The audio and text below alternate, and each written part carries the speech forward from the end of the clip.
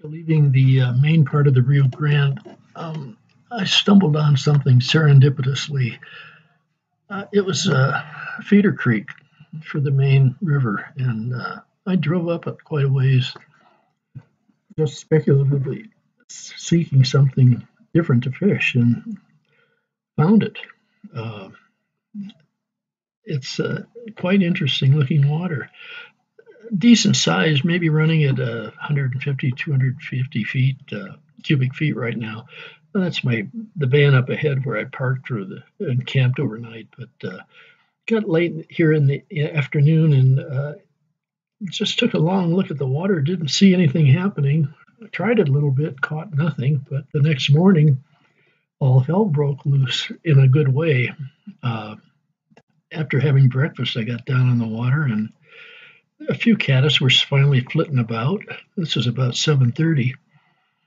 By uh, 8:30, the place was wild with uh, hatches, everything you can imagine: golden stones, yellow sallies, PMDs, midges by the millions. It was just amazing, and the fish came up everywhere. I couldn't find them the night before, but this day it was just fantastic. Um, that's why it's going to be remain named No Name Creek, because I just assumed not have other people there, and there were no other fishermen around when I was there. So this was great. Um, fish you're looking at right now is uh, something I never expected here. It's about a 15 or 16 inch brook trout that's as fat as a little pig. Uh, three different species of fish, mostly brown trout, probably split between rainbows and brooks for the other ones. Uh, there are some good sized fish in here. I had, when I started fishing that morning, before I knew there was going to be a hatch, uh, I had a big head come up and try to eat my thingamabobber. So I, that that was enough to make me change to uh, a uh, little WRS caddis imitation up above and a stimulator at the other end. Uh, as it turned out, most of the uh, fish took the WRS, which is a little 16 or 18 uh, caddisfly imitation, and a few took the uh, stimulator. But uh, the fishing was out of this world. These clips don't do justice to uh, how good the fishing actually was. Um, I've never seen anything like it. Uh, I was probably getting a strike every other cast or so. Didn't get a lot of hookups.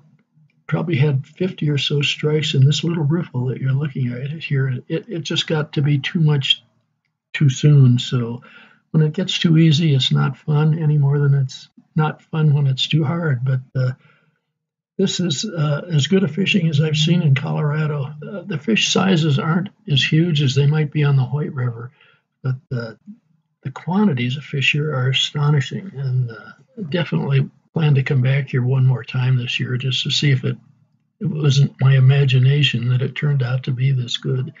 Um, let's hope it'll be the same way next year when I come back because it's uh, it's as good a place as I've seen. The aggressiveness of the fish. I had to sit down on the bank to release this one, and the minute I dropped the fly back into the water, another fish hooked, picked it up right by my feet. I couldn't believe it. So that that was a fun experience. Uh, it's it's delightful here, and uh, especially with the absence of people, um, no animals around. Uh, just an absolutely beautiful location. So we'll we'll be back again.